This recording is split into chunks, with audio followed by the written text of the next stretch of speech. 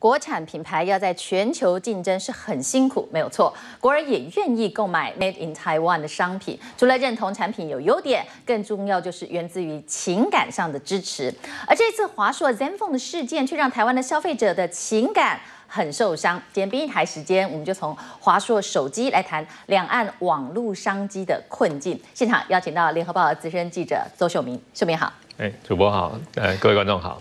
其实 ZenFone 今天事件就是两个争执点嘛，一个是怎么会两岸竟然同一只手机同一款呢，规格不一样。价格也不一样，然后还是对岸比较优惠。如果是刚好反过来的话，大家可能心情上还好一点。就是说同一款我们比较便宜，觉得理所当然是台湾品牌嘛，这还没话说。那另外一个就是说，呃，红色的缺货，然后业者就主动取消订单。这两个事件，这个都让消费者觉得反弹很大。今天我们虽然看到施董事长亲自出来道歉的，但他也说到说，请消费者要体谅。每个国家销售成本的不同，会有不同的定价策略。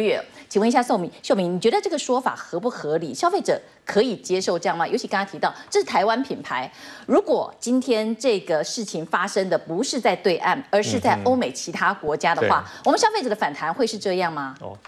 对这件事情，其实是要有几个层面的。第一个是那个消费者情感方面的话，因为可能是大家觉得说，因为华硕之前在台在台湾是浩浩大浩浩荡荡办了一个很很盛大的一个发表会嘛，然后有一些明星啊什么之类，而且市场上也说啊。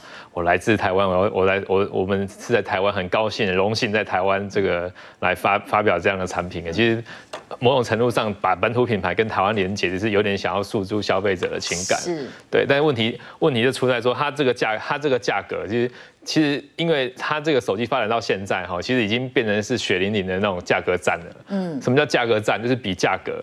价格比完以后，我们再比性，再比它的规格、它的性能这样子嘛。价格已经杀到见骨，已经杀到见骨，所以还是明明白白告诉你，我这只手机多少钱，嗯，对不对？我的我的那个我的性能是多少？是。所以，可是你我们再往回往回过头来看，其实哦，在其实也没有很久以前，还没到杀之前，其实有很多的我们我们买手机怎么买？绑约啊，绑什么啊？绑到你眼花缭乱，嗯你根本就不知道说这只手机根本。他或或或许他告诉你说我原本多少钱，可是问题是他我绑约绑来绑去，跟这一家绑跟那一家绑，我又送了什么？大家已经绑到已经算的那个眼花缭乱，其实大家已经其实大家也搞不太清楚。那时候已经搞不太清楚，对，没有错。可是问题是，他现在要要要玩这种行销的话，要血淋淋的价格战的时候，大家会就会你要你要你要用这个来诉求，就认真来跟你比价格。可是比比下去以后，发现说怎么会这样子？那种。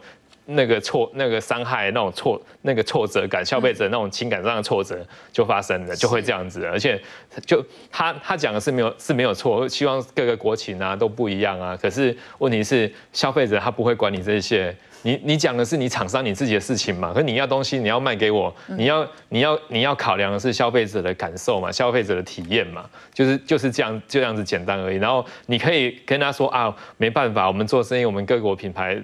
东西不一样，问题是你之前之前你诉诸的就是消费者的这种情感，问题是这样的东西已经回过头来来来吞噬你的时候，你就要要有警觉来处理这个事情。情感上很难过，最主要是大家会觉得说，我我说我很难过，就是说很很难过去这一关啊，这个坎啊。如果说刚才提到，如果是其他的国家发生这种情况，比方讲是欧美的国家、东南亚其他的国家，我们台湾消费者会不会感受上会稍好一点呢？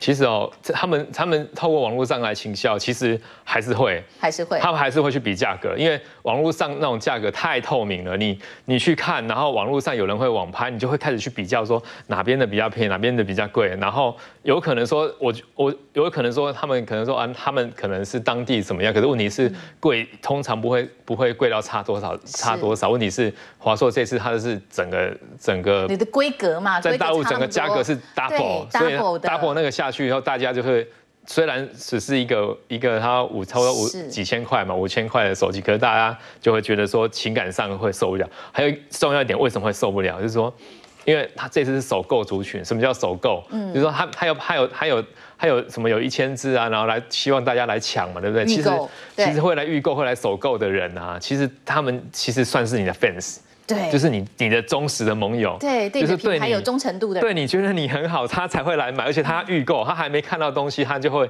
他就很很想很兴奋来买，所以他受的伤害更大。没有错，所以所以他其实你你应该营造让他拿到拿到手机的时候，他是那种非常兴奋的感觉，可是。可是他拿到以后，他还没拿到，他就开始暴怒了。所以你，所以他这个整个事件来上，华硕是有值得需要学习的地方。